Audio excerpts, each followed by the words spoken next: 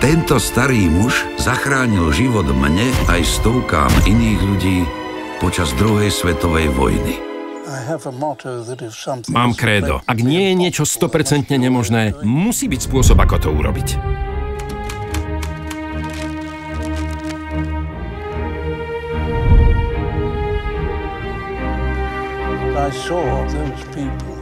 Videl som tých ľudí z Hitlerovej čiernej listiny, ľudí v ohrození, ktorí nemali nikoho, kto by im pomohol.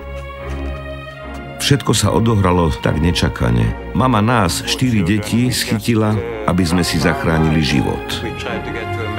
Skúšali sme sa dostať do Ameriky, do Anglicka, do Palestíny, ale všetky vlády tvrdili, naše hranice sú teraz zatvorené.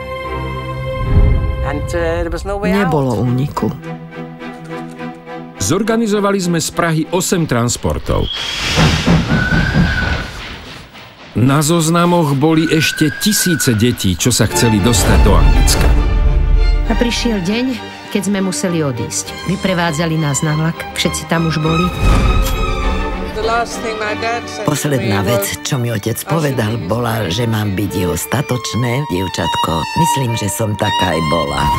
Najväčším sklamaním bolo, že najväčší transport, čo mal odísť začiatkom septembra, zrušili. Vypukla totiž vojna a takmer žiadne z tých detí neprežilo.